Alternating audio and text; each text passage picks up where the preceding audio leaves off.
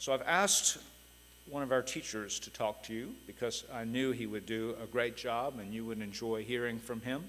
This is Roddy Story, who teaches history and coaches junior school football and baseball. Roddy is a 2000 graduate of MBA. He then matriculated at the University of North Carolina at Chapel Hill.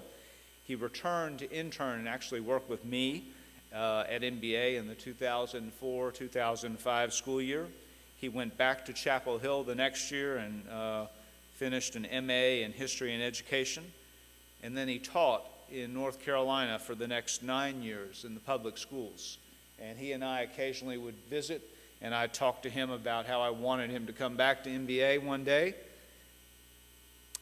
And he called me the year before last and said he was ready, as our song said, to come home. So uh, I'm very proud to introduce Roddy to you today. Please join me in welcoming Roddy Story.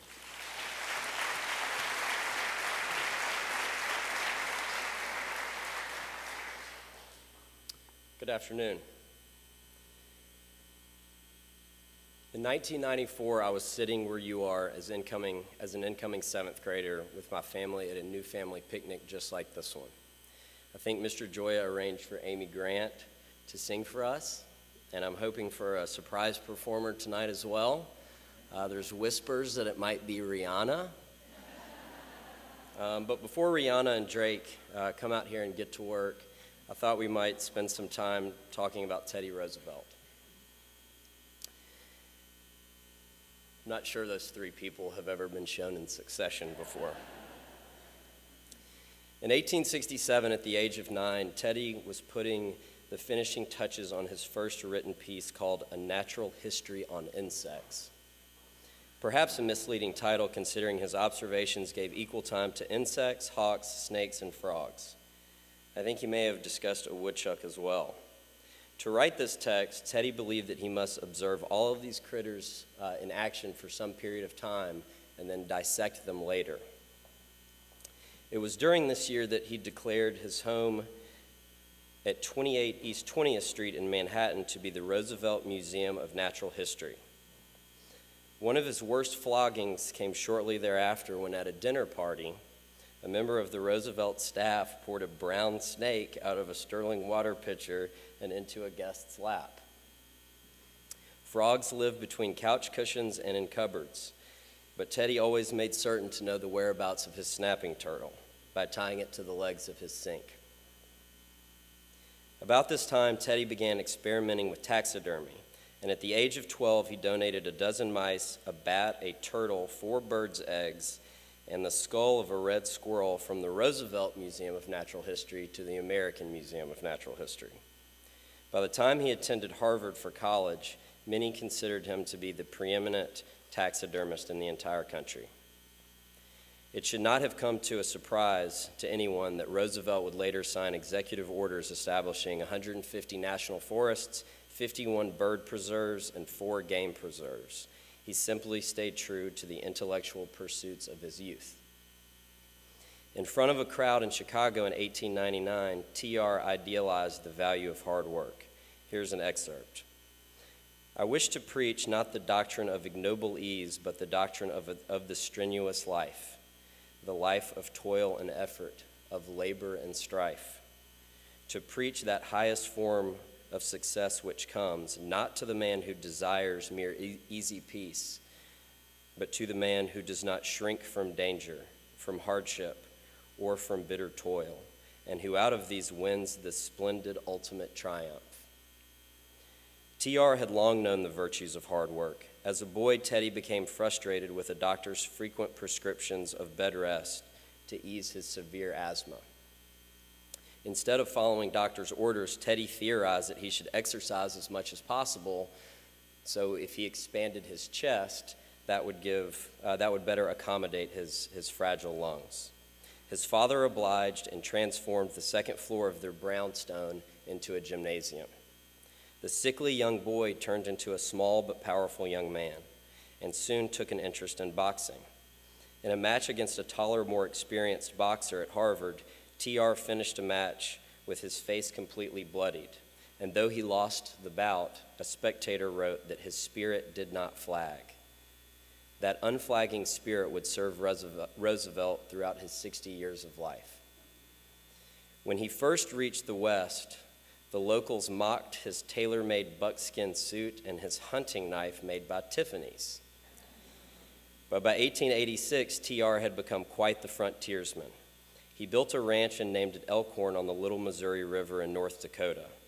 He spent so much time in the West that he served as the deputy sheriff of Billings County, a position he took very seriously. On the morning of March 24th, Roosevelt awoke to find his boat missing, a scow that he appraised to be worth $30. Because of the high snowbanks, he was unable to follow the thieves on horseback, so he sent his ranch hand into town for a box of nails. Three days later, TR had himself a new boat. A blizzard promptly set in, which delayed his departure by another three days. On March 30th, Roosevelt and two ranch hands set off to find the thieves who now had a six day head start. TR brought with him three essentials for the ride a rifle, a camera, and a copy of Tolstoy's Anna Karenina. After three days of travel in Arctic conditions, they found the boat and captured the thieves. Roosevelt now had three bound thieves, two boats, and two ranch hands 150 miles away from the closest town. Five of the six men were certain of the outcome. The thieves would be executed right then and there. But Roosevelt would not allow it. His ethics would not allow it. His sense of justice would not allow it. The death penalty was not a suitable punishment for the theft of a $30 boat. Roosevelt would see that the thieves received justice according to due process of law. Roosevelt describes the ensuing journey as eight of the most grueling days of his life. Roosevelt writes So after 36 hours sleeplessness, I was most heartily glad when we at last jolted into the long, straggling main street of Dickinson, and I was able to give my unwilling companions to the sheriff. Under the laws of Dakota, I received my fees as a deputy sheriff for making the arrests and also mileage for the 300 miles gone over, a total of some $50. He also managed to read the entirety of Anna Karenina. Many admire Roosevelt's successes. I admire his interests, his efforts, and his ethics. Roosevelt died at the age of 60, but historians credit him for living three lifetimes during those years. He never wasted a minute. Men, it's time to live like TR. And we will give you the support and the resources to do it. The next year of your life is so important because you, you begin to find out what you love to do, and you need to start figuring that out right away. Become part of a team, compose a piece of music, act in the play, paint a work of art, debate Hillary Trump with your friends, speak French to a girl, go fishing with your friends, tutor someone, prepare breakfast for a stranger. Do all of these things. If you don't do all of these things, you will be guaranteeing yourself that you're missing out on something. It's your turn. It's time to be independent. It's time to live the strenuous life. The next years of your life will offer you countless opportunities. Get off your dadgum phone, turn off your Xbox, and take advantage of these opportunities. What you do this year will shape what you do in the decades to come. There is a young man who sat in the audience last year and will be in the eighth grade this year. He excelled in the classroom he was the most improved player on the football team. He was one of the toughest members on the wrestling team. He acted in the junior school production of Robin Hood. He overcome he overcame the obstacle of getting cut from the baseball team and then threw shot put and discus for the track team. He plays guitar and he writes his own music. That's a pretty good year.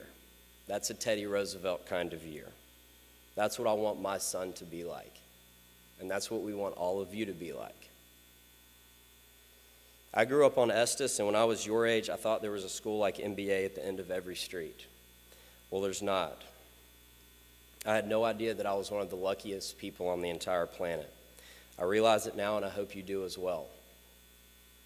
Men, you get to live in the United States and you get to go to MBA. And those are two things we should not ever take for granted. Before you go to sleep tonight, you should take a minute to talk to your parents to thank, to thank them for helping you get to this point because you would not be here without them. But you should also take a minute to tell them that you can take it from here. Thank you very much.